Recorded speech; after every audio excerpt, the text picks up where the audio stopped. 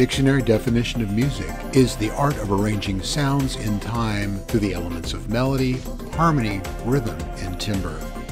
Low Pass Filter is a show about the nature of this thing we call music, how it functions in people's lives, how it's contextualized by society, and why we find certain music meaningful.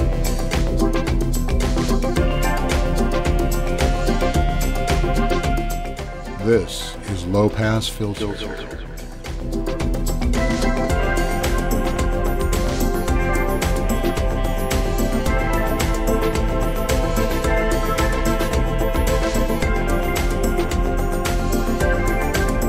Hello, and welcome to Low Pass Filter. This is a show about music and what it means in our lives. Uh, my name is Mateo Noche. I'm here with uh, Low Pass Filter co-host Bandon Wayne. Welcome, Bandon. Hello. Welcome back. Welcome. Welcome me. another- Welcome us. Thank you so much. Yeah, another another fun show. So, as regular viewers know, uh, we switch back and forth on topics every month, uh, and this time, this month, it is your your topic. So, what is your topic for today? well, it is a topic that I felt like it was high time we, we brought it up. What is funk? Let's talk about funk. Let's get into funk and uh, funk it up on this topic. Well, I guess we probably should say that you know we got there are, there are two white guys uh, talking about funk, and uh, the way I look at it uh, is uh, like I'm I'm a dilettante, you know. Sure. Uh, I know what I like. I don't necessarily know what it is, but I, I mean I Yeah, know what moves yeah, me, yeah. and I, I know what's what's moved me all these all these different years. I suspect you probably have some funk in your in your soul. I, you I know. but you know I like to think so. You feel the funk. I, yeah. I do feel it. yeah, I do feel yeah. it, but uh, uh, we don't hold ourselves out as experts. No, generally not. I mean, uh, yeah, enthusiast. I don't like to call myself an expert on anything, Right. you know. But but we're we're music nerds, Yes. so we like to deep dive and into these different uh, musical genres and whatnot. Um, Well, I think, uh, as always, should probably define terms.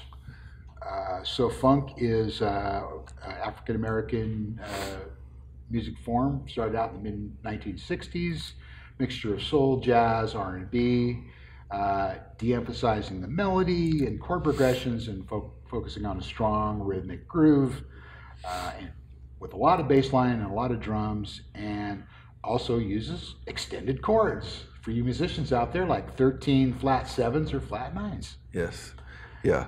Not knowing music theory, I, I in my research, uh, I saw a reference to that, and I went, Yeah, Okay, I love that is what it- I- chords. Are, they're I don't- yeah, I mean, I, I, I don't know that theory, but uh, made sense to me. There's Yeah. uh, some complex stuff going on in there. And of course, uh, why is it called funk?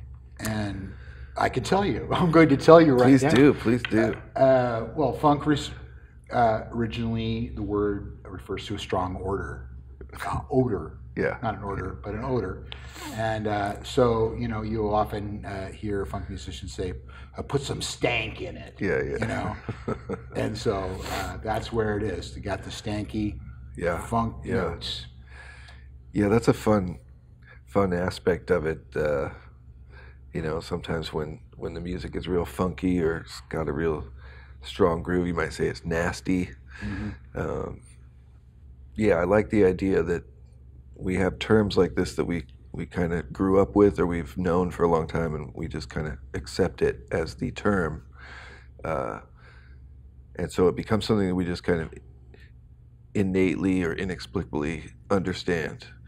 It's funky. Yeah. It's got funk to it. You know. Well, you know, the thing about funk is all roads lead to James Brown. Lead to or from. or from, yeah.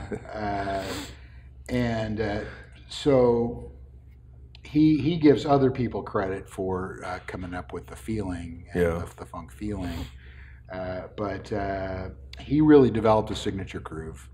Uh, and as we were talking about uh, before, I think before we started, with the emphasis on the downbeat. hmm In other words, on the one, Yeah. and uh, you'll hear him uh, call that out uh, in many, many songs. Yeah.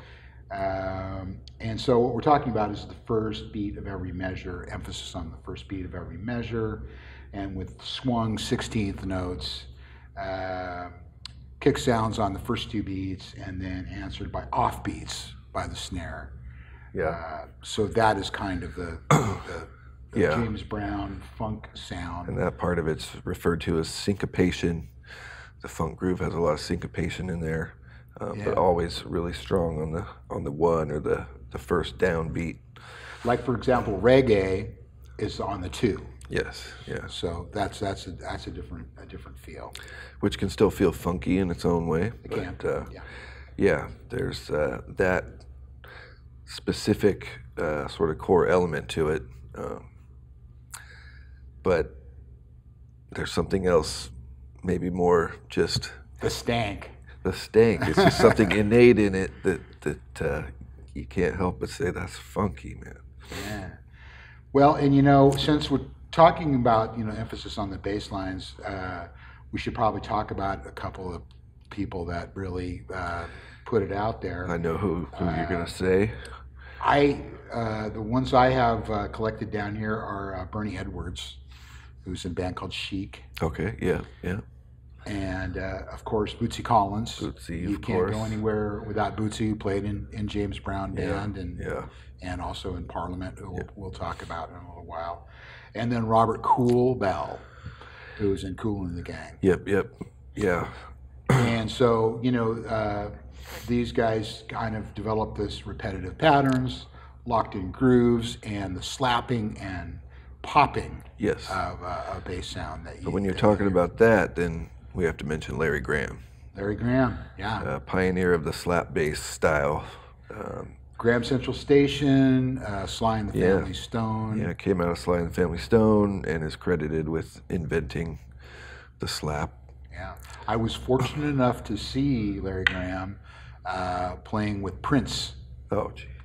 uh, which was pretty amazing. And Cynthia, uh, the trumpet player from Sly in the Family Yeah. Stone, was also there. Wow, Also wow. Carlos Santana. It was a great night. But uh, yeah, I was I, I feel super fortunate, and I think he's I think he has passed on since then. Yeah, Um, I would sorry, think if so. Larry, if you're if you're still with us. Uh, uh, but yeah, definitely towering. Uh, then of course we get move on to the drummers, and if you can't say uh, funk without saying Clyde Stubblefield. Clyde Stubblefield, man, Um, the most sampled drummer in hip hop. that's right. Perhaps one of the most sampled uh, musicians on Yeah, the face of the earth. yeah. um, and uh, uh, Jabo uh, Starks, who also played. These guys both played in James Brown Uh-huh. bands at different times. yeah, yeah. Um, David Garibaldi, uh, amazing drummer with Tower of Power, Tower of Power. All right. uh, was kind of also developed this thing called Ghost Notes, Yeah, yeah. and very much into the rim shot uh, kind of uh, flavor of doing the funk thing, and a lot of um, hi hat splash accents. was Okay, another, yeah. another one of his kind of Another guy that you would uh, credit with that uh, kind of ghost note style is Bernard Purdie, right. uh, who isn't necessarily associated strictly with funk, but he was a funky drummer for sure. Oh yeah. Yeah. And then uh, George Brown, who was Kool in the Gang's Yeah. drummer, amazing, amazing drummer. And finally, on my list, I have James Diamond Williams, who was in the Ohio Players, Ah, yeah. and we'll oh, talk man. about them later when we get to talking about about our our, our list. Yeah. Um, then another kind of, I guess, signature of funk was the uh, uh, chicken scratch, or the uh, kind of chank uh, guitar. Yeah. Yeah. got put in a lot of that. And of course, Jimmy Nolen, who played with James Brown, was kind of the originator of that, or at least he gets credit for it. Don't write us if there's somebody else that. But uh, Yeah. I don't know that name specifically uh, off the top of my head. Um, he was in the Famous Flames. Okay, he, he, yeah. he played in uh, bands up through the 70s with, with James Brown. Uh, Ernie Isley, oh man. another another Yeah. towering uh, funk guitarist. Um, and then I had uh, uh, Eddie Hazel Yeah. from Funkadelic. Yeah, Eddie Hazel takes funk into another place. Um, I'm sure could play some of uh, that funk guitar style, but uh, but was also the the aspect, or at least a strong component in that psychedelic aspect of, of funkadelic, and and uh, you know essentially could play psychedelic guitar like Jimi Hendrix. Oh yeah. Um, so funkadelic, while being you know one of the main uh, originators of a real heavy funk sound, is also a rock group. Yes. You know. Yeah, I just I have been recently. I I I own Maggot Brain on an LP, and so my LPs don't get hauled out quite as much. And I finally bought the CD. Yeah, yeah. I know, physical media. I'm an old guy. What can I say? Uh, but anyway, I got that out, and I had that like on my CD player for like a week, just listening to it. And you're very, you're right. That is a rock record Yeah, in a lot of ways. There's a couple of funky songs on it, but it, it's a brilliant Yeah. rock record. We're talking about Maggot Brain, 1971. Uh, Yes, indeed. Yeah, you could add uh, "Free Your Mind" in your rear will follow. Yeah. and then finally, as long as we're running down the instruments, we might have talked about the clavinet, There you go. Yeah. which uh, is also a signature funk instrument. And I don't think anybody wielded that better than Stevie Wonder. Stevie Wonder. It's interesting. I won't go into the story, but clavinet seems to be coming up a lot in my musical listening these days. Uh, yeah, Stevie Wonder, man. and finally, horns. And nobody did it better than the JB horns. Uh, Maceo Parker and Fred Wesley. Fred Wesley. Fred. Wesley is just like talk about the stank. I just I I could just listen to him play trombone all Yeah. long. It's Yeah. just just it just goes down so so well. Uh, Yeah, and, and and one thing I love about those guys is I really feel that they were very skilled jazz musicians, and and so they bring a dimension to playing funk, uh, especially the instrumental side of it. Um, you know, it's uh, it's not jazz, it's not funky jazz, it's funk, but there's jazz in there, and Oh, yeah. and uh, I just love it.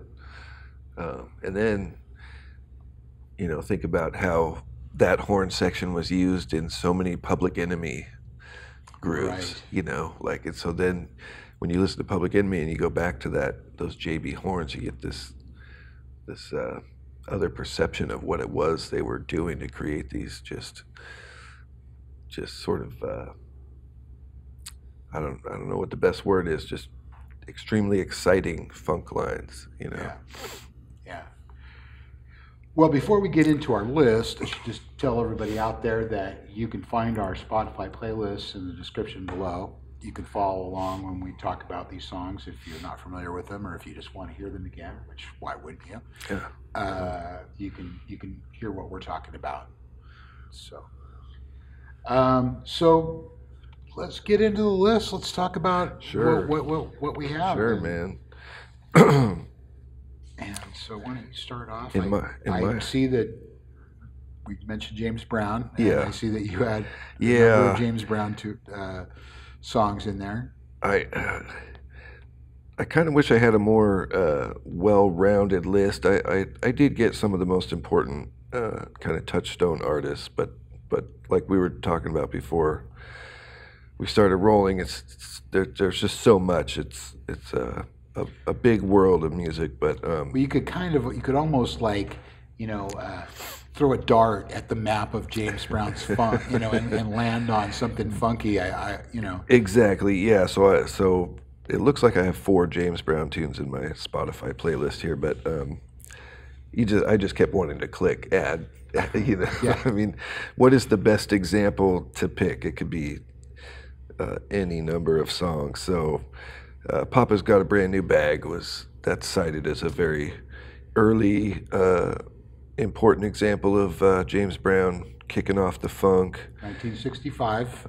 Oh man, Yeah. yeah. We're not even to the late '60s, and it was funky as heck. Um, and then for me, Papa Don't Take No Mess and, and Get on the Good Foot were, are those are songs that to me are just just funky, stanky funk tunes. And then I threw Funky Drummer in there because that does highlight. The Clyde Stubblefield. Yeah, yeah. Well, I, I likewise I, I had uh, James Brown. Uh, I picked a couple of uh, late, a couple of later uh, Yeah. examples, sort of into the '70s era, and uh, the one uh, that just seemed obvious to me is "Make It Funky," Make it funky, man. uh, which had you know Maceo and Fred Wesley and, Yeah. uh, on it, and then "I'm a Greedy Man." So, so uh, "Make It Funky" is kind of a slow funk, Yeah, right? yeah. And "I'm a Greedy Man" is an up tempo, Indeed, indeed. funky thing. Um, but uh, I was talking earlier about you know James Brown uh, saying he wasn't the originator of funk, and he credited uh, a guy named Chuck Connor, who was in the Upsetters, Okay, as being the first person to put funk into uh, the rhythm of rock and roll. interesting.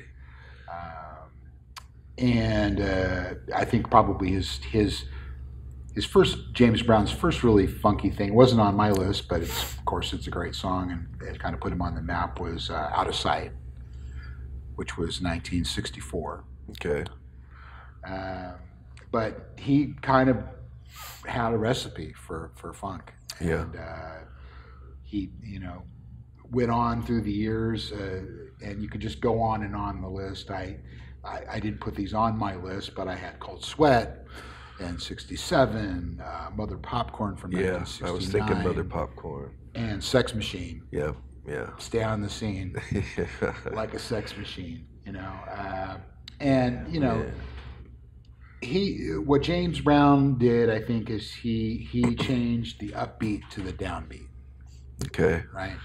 Uh, and really, it's just as simple as that, you know. yeah, And uh, just you know, everyone else has kind of followed along in his wake since then. yeah. Uh, I would think the Isley Brothers have to be early important group. Um, I put the Meters in there as a as a important early group, uh, bringing funkiness. Um, but if you're going back to 64, 65, that's you know that's pretty early. Yeah. It starts to get really, really moving. Well, the, of meters 60s. that you had um, hand clapping song.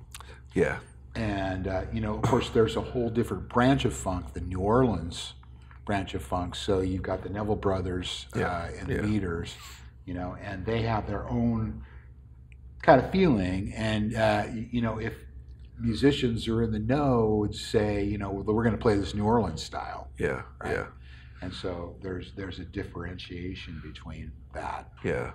And, New Orleans is, is definitely got a history of, of funky music, um, going back before funk was even thought of. You know, there's a funkiness to uh, music from that area and, and the culture there.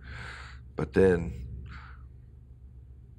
Ohio is a hot spot for, for funk. uh, it's interesting. Yeah, the, the meters are really important to me because I, I feel like they brought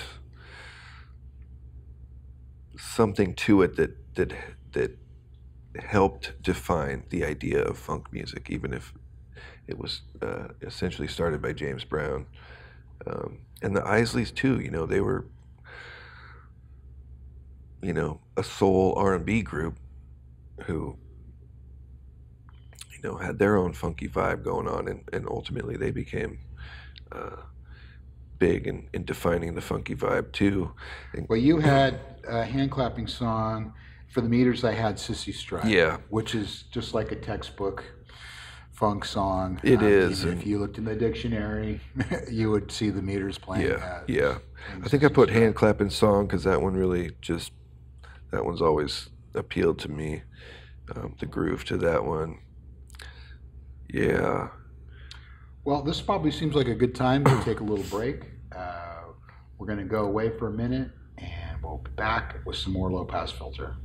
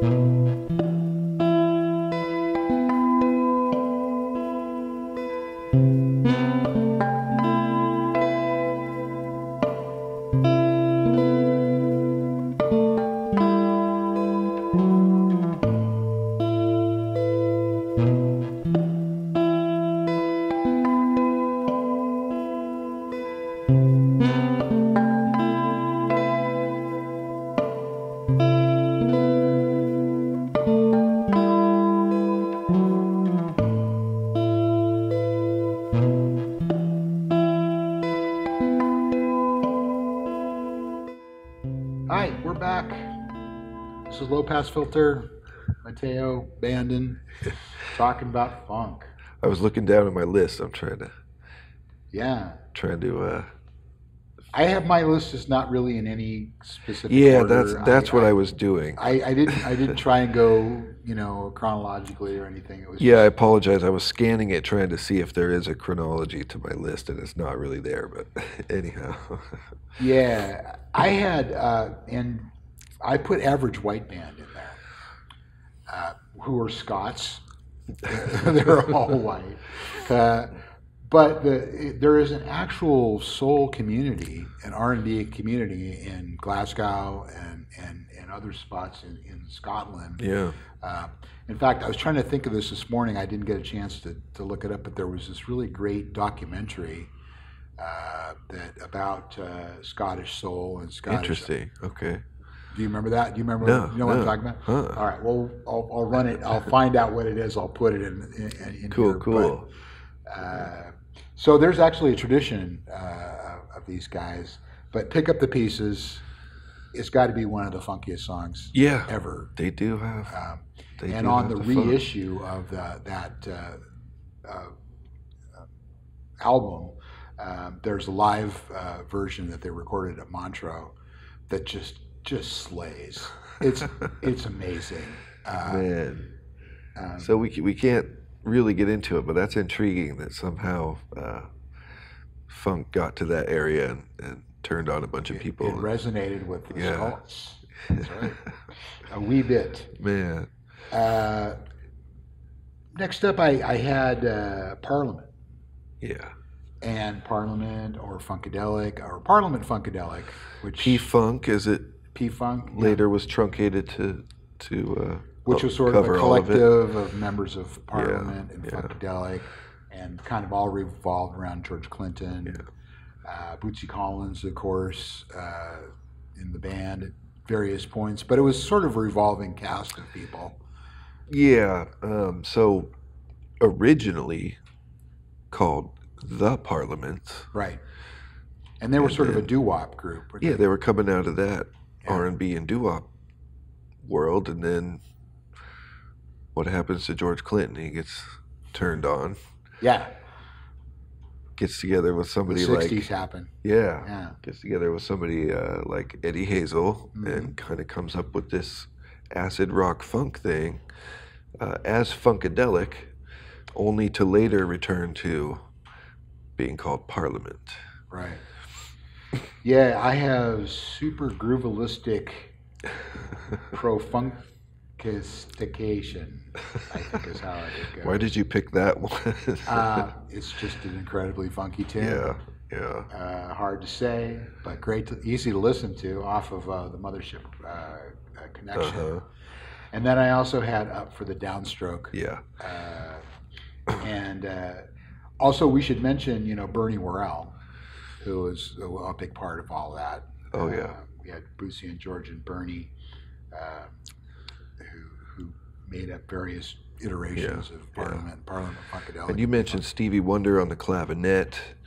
Uh, Bernie Worrell is probably a master of all uh, electronic, electric piano stuff, analog synthesizer stuff.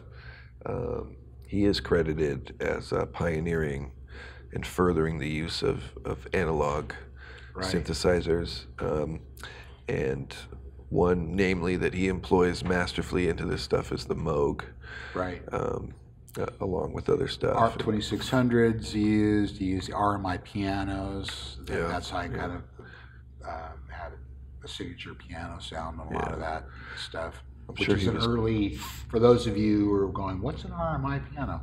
It's a, a early, uh, not a digital piano, but an early electric Okay. piano that kind of approached an acoustic sound, Interesting. Okay. but a very distinctive. yeah, and I'm not positive what he's using. He is uh, in the pantheon of of Moog Yeah. experimenters, but um, there is a signature Bernie Worrell synthesizer sound in in Funkadelic and Parliament, and that you'll also hear on uh, his work with Talking Heads and and some other stuff. Um, so yeah, we talk about the drums and the bass kind of being your your foundation of funk, at least as far as the that feeling of the groove. Um, but think about what he was doing with keyboards, like Yeah. it. I mean, adding that to this concept of funk, it's just it's just far out. It's like outer space stuff, man. What else do you have on your list? Well, I, I threw down a few from uh, Funkadelic. Um, a couple of them are off the Cosmic Slop album, and and uh, you know, some people lean towards Maggot Brain, some people lean towards Free Your Mind. Um, Cosmic Slop was the one that, that first blew my mind when I was young, and and uh, the song Cosmic Slop is just this really heavy, for lack of a better word, cosmic funk tune. Um, and then Nappy Dugout, it, to me, it has more of this kind of uh, kind of down home, comforting feeling to it. Um, and then Hit It and Quit It off of uh, Maggot Brain just seemed like a real, um, just you know, just real kind of funk stomper. Um, but then we mentioned you mentioned uh, Kool in the Gang, um, and I don't always think of them as being an early funk foundational funk group because they they kind of had like some of these artists had more than one sort of era or iteration of the group, um, and so they had you know uh, later '70s pop hits and and stuff, but um, Jungle Boogie just seemed like kind of a um a good song to jump off from with those guys. I had, I also had them on my list, and I had uh, um, Funky Stuff, Okay, yeah, parts one yeah. and two. And then the other one song that it just gets me all the time is Hollywood Swingin', Oh man, yeah, which is yeah. just like amazing. Um, Yeah. Funky stuff is great, and uh, and I do love Hollywood swinging too. Yeah, those are singles I have in my collection. Yep. In fact, I have the 45 Funky Stuff, Yeah, yeah. part one, flip it over, Mm-hmm. part two. And hey, man, maybe maybe for a brief moment, talk about the part one and part two in, in the world of, of funk. Right. Trying to release those singles when you've got a five six minute funk jam. yeah And you're James Brown- Three and a half minutes. Yeah, and James Brown was the master of part one and part two. I think you And know. part three and four and five. Probably. Yeah. yeah. Oh man, and uh, and sometimes uh, the A side to one of those singles might have a little bit more vocal phrasing, and the B side might be a little bit more of the instrumental with just a couple of James Brown's signature, you know, grunts on it, as he called it. Yeah. You know. oh man, I threw down "Brick House" by Commodores. Okay. That's pretty classic. Not not uh, early funk, but um, that's a song that would be on any classic funk compilation. And have to talk about Sly and the Family Stone. Oh, yeah. I mean, I didn't put them on the list, uh, but really, I figured that they would come up because they're uh, progenitors. Yeah, You know, they're yeah. they're they're right there. Uh, Yeah. And Sly Stone was a genius, a crazy, Oh, crazy genius. yeah. Still is. Hey, Sly. Still out Indeed. there. Indeed. Uh, wish he was still making music. But yeah, uh, so you had uh, thank you for letting me be myself. Yeah, yeah. I go to that song all the time, and there's there's plenty of other great ones. Um, and maybe some of their uh, impact on music wasn't only about being a funk group. You know, um, they were very significant during uh, um, psychedelic era, era, the the uh, Vietnam protest era, which is all the same time frame. But um, they touched they touched people and the musical landscape in, in multiple ways. But like we talked about, Larry Graham on bass, uh, foundational in, in the feel of funk. And they were also an interracial band, Yeah, which indeed. was uh, yeah, not yeah. a thing. Their the funky time. drummer was Yeah. a white guy Right. who who It, kept it, it was funky. just you know it was either people we talked about we've talked about pigeonholes in the past and putting want to pe- put people in baskets, but Sly did not want to uh, be in a basket. he wanted well, to. they were out of the Bay Area. Yeah. and and uh, Tower Power was out of the same area, and they were also multiracial. Yeah, yeah, uh, band. yeah. But at the time, it was remarkable. Um, I just know Sly uh, as you know from my childhood, and just being on the radio all the time, Yeah. and just like hot fun in the summertime. Uh, just really, you know, that that was my summertime song. That's great, Really yeah. evocative of when I hear it to the now on the radio. Yeah. It's yeah. very evocative of getting out of school and Oh, okay. off. You know. Nice. I wish I would have had Sly in that era. Well, I could have, but we were probably listening to Guns N' Roses or something. um, yeah, dance to the music. Yeah, Sly's music transcends, as do do most of these artists, but um, they're important in the in the history of funk, but yet uh, transcend it. Thank you for letting me be myself again. That just that song really connects with me. Um, to me, it's about you know uh, reveling in in the, the space that, that you may have to uh, to just express yourself however you want and be grateful for the life you have. A lot have. of joy in that. Yeah, yeah. A lot of joy. And if you ever watched a live clip of them playing that, uh, we won't we won't go into Sly's uh, predilection for for uh, things to affect his mood, um, but he just is in his zone, um, smiling, playing his little funky guitar on that, and um, and I just I've gone back to that clip on YouTube so many times. Well, there's multiple ones, but. Uh, uh, I don't know what it is. Just seeing him play that song, I want to thank you for Yeah. letting me be myself again. I had uh, on on my list. I had a couple of people. You mentioned people that had different eras, and so I, I had the Bar-Kays, Oh man, yeah. which were well, Otis Redding's backing band, and most of them died in the airplane crash. Oh, okay. Uh, a couple of guys. One guy was on another plane. Another guy was ill or something and was not on the plane. Yeah. And so uh, they had their whole uh, career backing Otis, and then they were reformed uh, in '76 and had a, went on to have a whole other funk career. Yeah, and they ended up um, kind of taking funk into this new, uh, uh, more synth-driven era that, that I like to refer to as electro funk. Yeah, Larry Dodson uh, became the leader of the band in 1976, uh, and the song I had was something called Boogie Bodyland. All right, all right. Just always liked the, the feel of that. Um, War, uh, the Cisco Kid.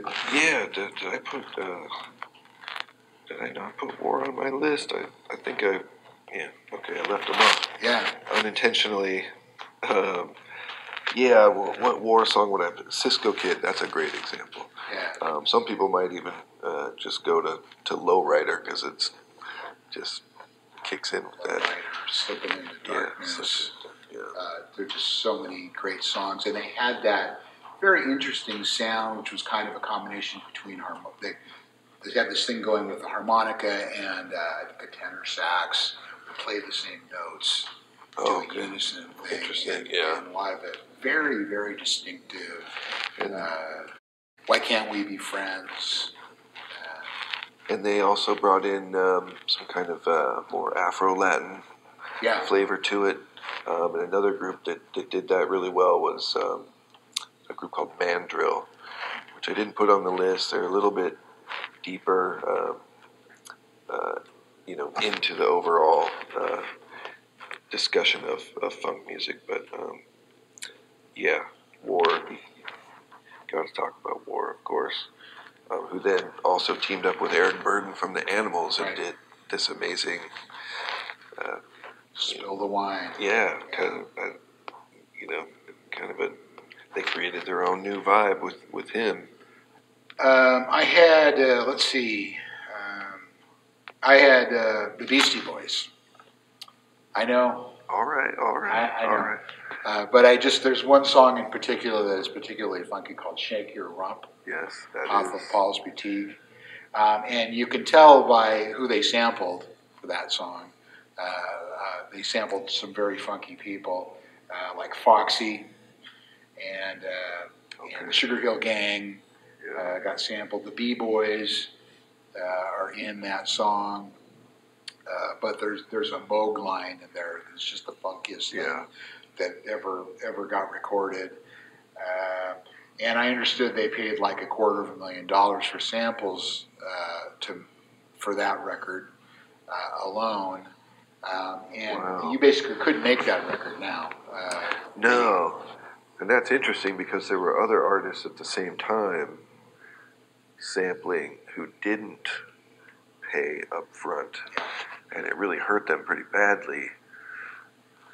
Well, there's a famous case, and I, I'm blanking on who, who filed it, somebody we'd all know, uh, that changed the, that whole thing and, and made it so uh, you had to clear things first, Yeah. you had to pay for them first. I'm not sure what the uh, the one, if there is one case that that did that, but I know uh, De La Soul got sued by the Turtles, um, and there was probably a lot more of that. I think once that started, then it probably snowballed. Yeah. Um, probably a lot of lawyers calling up record labels. Right. um, hey, anybody you want to sue? Um, yeah. yeah. Kidding. Yeah. Anyhow, yeah, I mean, hip hop uh, probably would not exist without sampling funk music. Right. Yeah. Well, uh, there's I, I think there's you know Clyde Stubblefield. Yeah, It's all yeah. over so Yeah. many hip hop records. He including was, Beastie Boy records. yeah, he was, and um, interestingly, he seemed to be really good natured about it. Specifically, uh, knowing that he didn't see a, a dime for most of that usage of his stuff, but he just kind of seemed to look at it like, well, I influenced this stuff. Right. But pe- you know, without me, this wouldn't have been happening. But I'll just take that, and, Yeah. you know. Uh, but yeah, the Beastie Boys on Paul's Boutique. Uh, a mosaic of samples. Right. the most ardu- arduous production of, of sampling music ever, but it worked to brilliant effect. Um, yeah, so you went a little farther. I kind of hung around the, the 60s and early 70s. Yeah. What, what other kind of far out funk examples you got in there? Well, I had uh, we talked about the Isleys and Ernie Isley, uh, Ernie Isley, and I had that lady parts one and two. Okay, Also had that forty-five, nice. uh, which uh, Ernie kind of pioneered using the Mutron Mutron phase shifter, Okay, and so that's a very uh, signature guitar sound for him in that song, especially. Uh, but then I had Prince, yeah, yeah, uh, "Let's Work," off of the Controversy uh, record, which is a pretty funky record, actually. And not that yeah. all of Prince's records weren't funky, but that, that one was uh, resonated with me. Yeah. Uh, Prince was funky. Yeah. At some point, I think he talked about that in his music. um, my name is Prince. uh, but he was so brilliant at at blending funk, rock, but but funk and pop, making uh, very uh, commercially popular pop music, but having that having that funk injection in there, that funk basis. Uh, yeah, I mean, the, Yeah. Uh, the dude could dance like James Brown. yes, He he could could. he could Yeah. play like Jimi Hendrix On and Eddie Hazel. High heels. Yeah. Yeah. I saw him at the O, uh, like, I don't know, like two years before he Yeah. passed away. And it, it is like in the top three concerts that I've ever seen in my life. Carlos Santana uh, jumped up and did the most un-Carlos Santana solo I've Wow, ever seen. wow. He did like this noise solo in one of the songs, which I mean, Carlos Santana just you know he has this very signature way of playing guitar that, yeah. in my opinion, hasn't evolved much since the 1960s. But fair enough. Uh, can't argue with success. He uh, and it was just like who you know how did Prince coax that out of him? And Prince did a lot of coaxing, uh, great performances out of a lot of different types of people. Yeah. Uh, but yeah, what a huge, towering figure in music, and uh, and what a loss to the world uh, to not have him anymore. Yeah. Uh, I'll take. Well, I'll give one more, and then we'll take a quick break. Uh, Rufus and Chaka Khan. Yes. Tell me indeed. something good. Um, was very funky, and uh, Rufus, of course, was uh, uh, Rufus Thomas, a very funky man. And that's an interesting group because um, Chaka gets referred to as the Queen of Funk. right. Uh, they were a group together. It wasn't as if she was, um, you know, a guest or or apart from them in, in status necessarily. Of course, she went on to a solo career, but Rufus as a band was incredible. Just Yeah. great musicianship.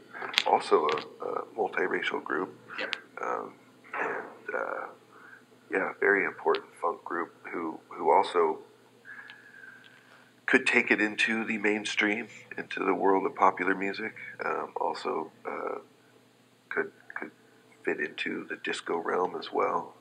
Um, but and rock, you know, they're they're brilliant. Uh, I happen to be a huge Chaka Khan fan, so Yeah. Can you not? every Rufus and Chaka Khan, and then solo Chaka records, I, I have all those. Yeah.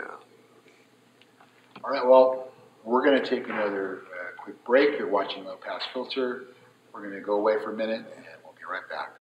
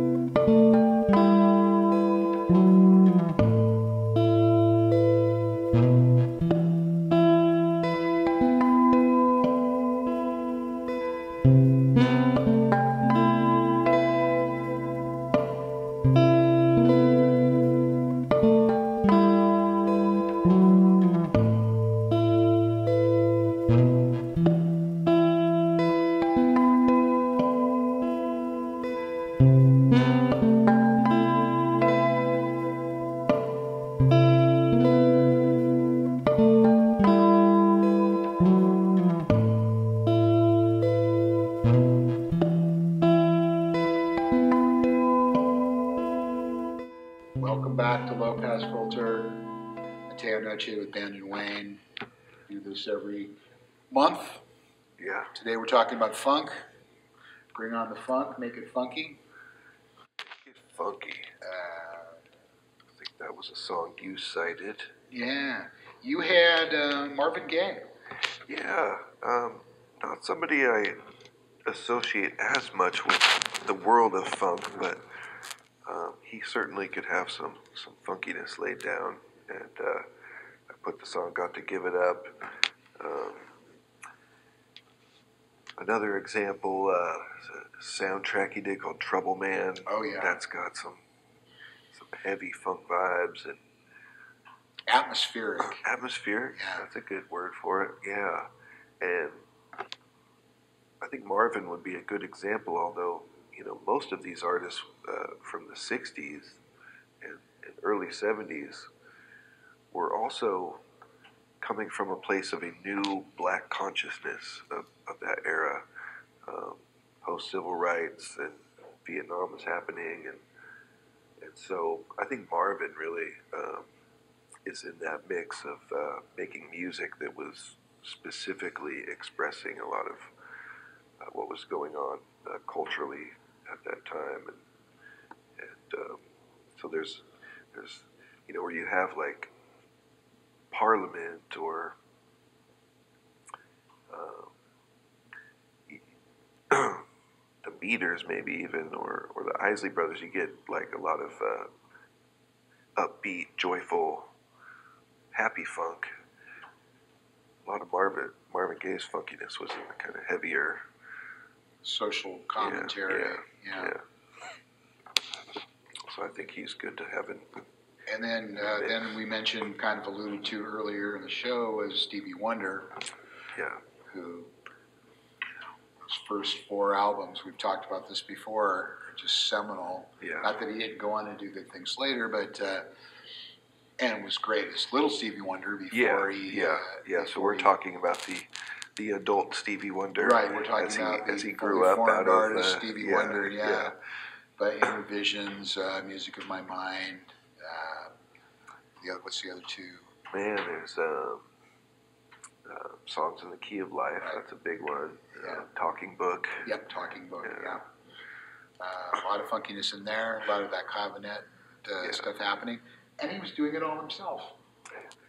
Really, with the you know, he had some backup singers, but he was playing the drums, he was playing the guitar, he was playing the keyboards, he was playing the bass. he had musicians there to work with, and certainly when he played live and, and stuff, you know, he, he could only play keyboard and sing, but it was known that in the studio he would be he would be laying down all the parts and which Prince kind of took on that Yeah, that thing too yeah. as well. Uh, but there is a, a great clip of, of him in that era with a band playing Yeah, some of the songs, and it is so hot. yeah, It's just off the charts. You know, you think of Stevie as kind of sunny and you know, uh, you know, fun and, and that sort of thing, uh, but it was just like super aggressive. You know, not in a mean way, but just like really leaning into the right. material That's a good way to put it. uh, Yeah. in a way that it, the the records are genius and they're wonderful. But this was the I would have loved to have heard a live album out of some of that stuff of, of him playing um, No doubt. musicians. I feel like that clip that you're referring to, we've we've seen it over. It's like it's been around for a long time now. You just look on YouTube. Uh, I don't know where I first saw it, but isn't it like they're in a, a sound studio Yeah. kind of room and yeah, and that was a good way to put it. Leaning into it, like you know what what happens in that moment where they go, "This is what what we're doing," and then it it yeah, just full on. This is the sound. This is the attitude. And, Yeah. and they all just came so hard with it. And uh, yeah, there's nothing, um nothing vapid about Stevie Wonder tunes. I had kind of a I don't know, they may not be obscure. They're still they're actually still I was surprised when I went and looked them up. They're still performing. Uh, was a band called Brick. Yeah. Uh huh. Yeah. Yeah. Uh, they had a big hit in the United States with a song called Daz, Yep. D A Yeah. Yeah. Yeah. which was hit number three in the pop charts uh, back in 1976. But the song that I uh, that I know is from their self-titled album called Dusic, Okay. Okay. uh, which is very, very funky Yeah. and very uh, sunny and upbeat and fun.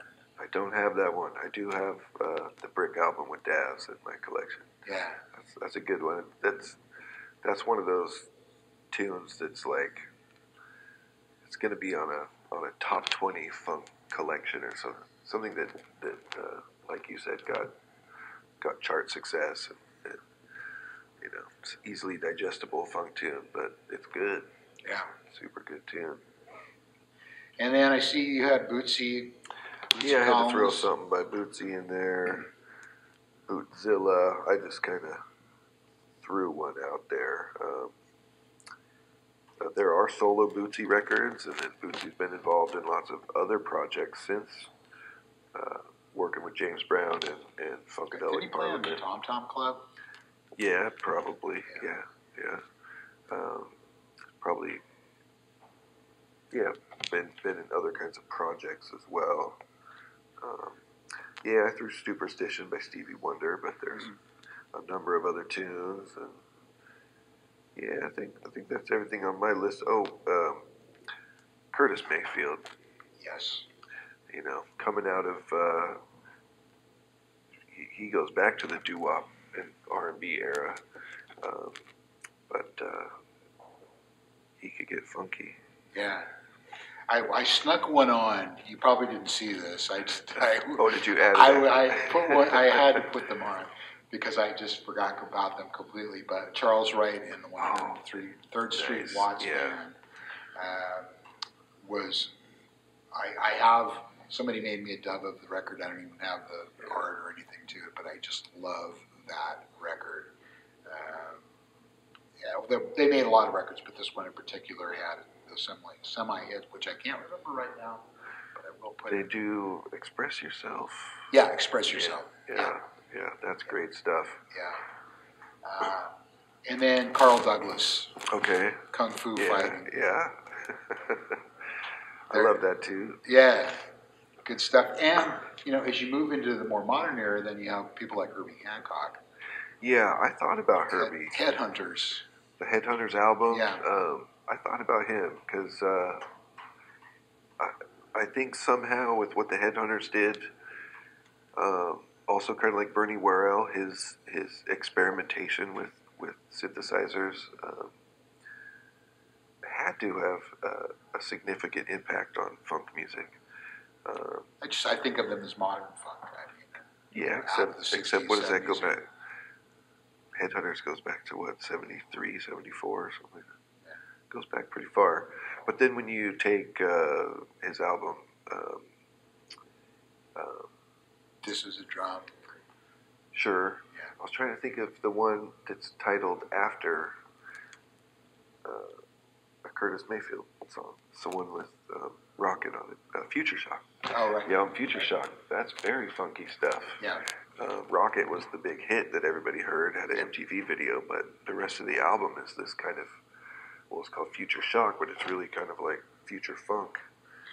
And, you know, there's so many subgenres of funk. So there's synth funk, funk rock, new funk, avant funk. We should have put that in the art, in the art show.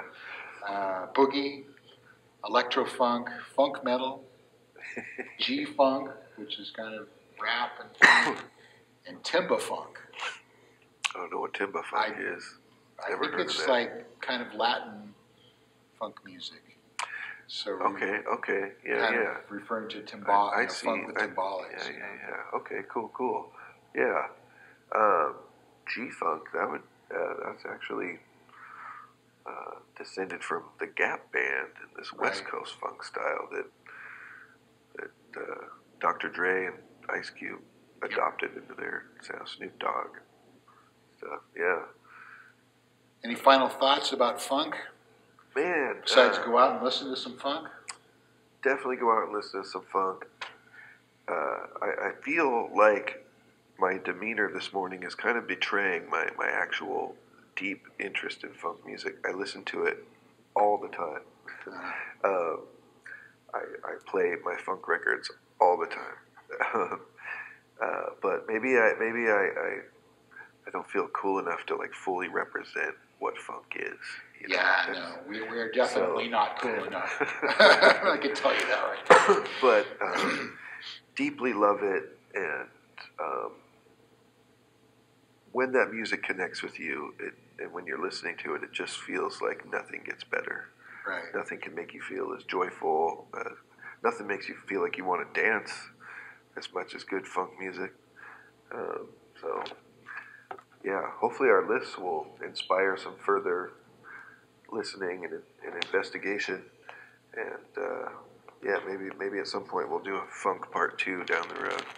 Could be. There's a lot. There's a lot to, of funk to be mined. Well, come to the end of another one. I want to thank everybody for listening and watching to Low Pass Filter. Uh, if you be sure and like and sub- subscribe to our channel, uh, and uh, if you have comments, you can get a hold of us at uh, lowpassfilter2020 at gmail.com. And we'll see you next time on Low Pass Filter. Thanks for watching Low Pass Filter.